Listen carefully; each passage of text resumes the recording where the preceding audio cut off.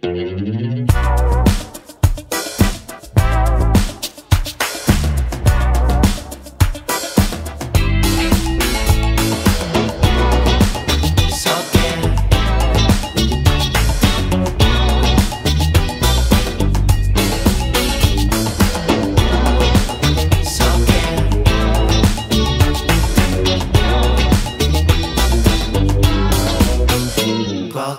dia acaba-se a vida.